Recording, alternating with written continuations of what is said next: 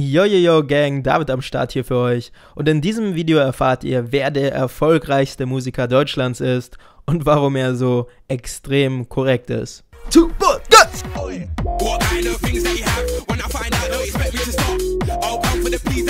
Bevor es mit dem eigentlichen Thema losgeht, wollte ich euch kurz den Sponsor dieses Videos vorstellen. Und zwar ist das wieder Reddit. Und Reddit ist eine Online-Plattform, da könnt ihr euch über 600 Zeitungen und Magazine kostenlos geben. Ihr könnt das Ganze im Browser machen oder auch in deren App. Die haben eigentlich so gut wie zu jedem Thema ein Magazin im Sortiment, sei es Politik, sei es Wirtschaft, sei es Computer, sei es Technik. Da ist eigentlich für jeden was dabei. Und Reddit hat außerdem wieder 50 Premium-Codes für die Gang da gelassen, deshalb diejenigen, die schnell genug sind, die können sich diese Codes gönnen. Und dann könnt ihr euch alle Magazine auch offline geben und komplett ohne Werbung. Und jetzt geht's auch schon weiter mit dem eigentlichen Video. Es geht um den erfolgreichsten Musiker Deutschlands. Und zwar bin ich aktuell irgendwie auf Netflix unterwegs und schaue mir sehr, sehr viele Dokus an. Und ja, diese Doku ist jetzt zwar nicht auf Netflix, aber allgemein, ich habe mir jetzt zum Beispiel auch diese Avicii-Doku gegeben und die war halt auch schon sehr, sehr intensiv. Und ein paar Wochen vorher habe ich mir halt die Robin Schulz-Doku gegeben. Äh, die ist auf YouTube, heißt Robin Schulz, The Movie. Und ich muss einfach sagen, Robin Schulz ist einfach wahnsinnig, wahnsinnig korrekt. Also wirklich ein sehr bodenständiger Künstler mit so viel Erfolg. Und genau, ich habe die Doku halt irgendwie durch Zufall irgendwie abends so auf YouTube gefunden und habe mir die dann einfach komplett angeschaut. Und eigentlich bin ich kein großer Fan von Elektromusik, aber in Holland kommt man irgendwie nicht drum rum, weil hier wird eigentlich nur Elektromusik gepumpt so. Und es gibt ja auch ganz viele bekannte DJs, die halt aus den Niederlanden kommen. Und ich habe Robin Schulz sogar mal live gesehen. Ich glaube vor vier Jahren oder so auf irgendeinem King's Day Festival in Amsterdam oder so.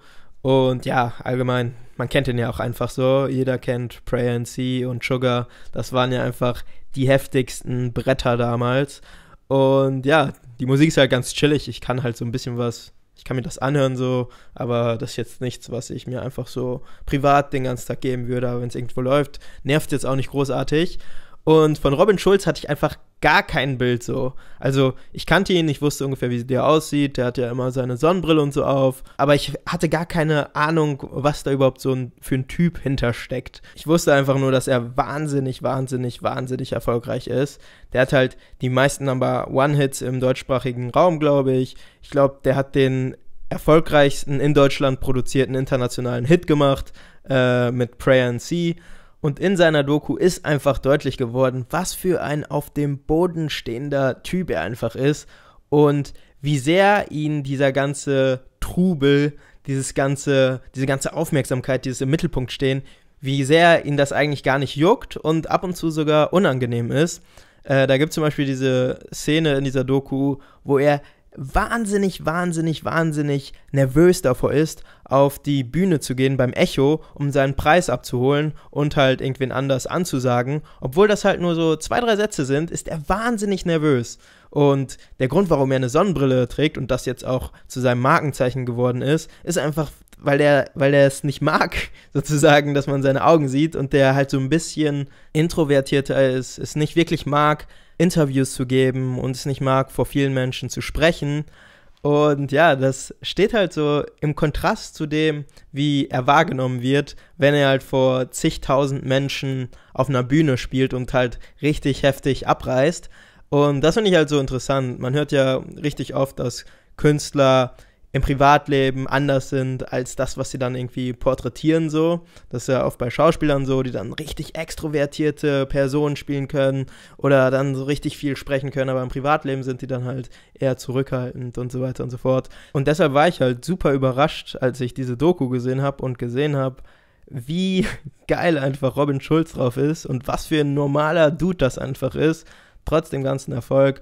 Und ich finde das halt sehr erfrischend, wenn man sich diese ganzen Egos in der Musikindustrie anschaut, dann mal einfach so einen Osnabrücker Jungen da zu sehen, so, das war schon sehr nice. Und auch wie er über seine Heimatstadt spricht und so, das ist halt schon sehr, sehr korrekt. So, ja, da, da fühlt er sich einfach geerdet, da, das ist sein Ruhepol. Das war schon sehr, sehr nice so. Äh, auf jeden Fall sehr sympathischer Typ. Checkt die Doku auf jeden Fall ab, wenn ihr Bock habt. Ähm, wir wissen, dass Robin Schulz Abonnent bei Simply ist. Er wird deshalb wahrscheinlich auch Teil der Gang sein. Deshalb Shoutout an dich, Robin. Danke für den Support bei Simply und hier bist du wahrscheinlich auch am Start. Kannst ja mal kommentieren. Und schaut euch gerne auch mal die Avicii-Doku an. Ich weiß, äh, die ist schon super alt und äh, der Tod ist jetzt auch schon über ein Jahr her. Aber ich fand die Doku gerade im Anbetracht seines Todes auch ganz, ganz schön greifend und packend. Ähm, deshalb zweite Empfehlung, Avicii True Stories. Und ja, was soll ich sonst noch sagen, Gang? Hoffentlich habt ihr alle einen guten Abend und vergesst eins nicht, feiert gut.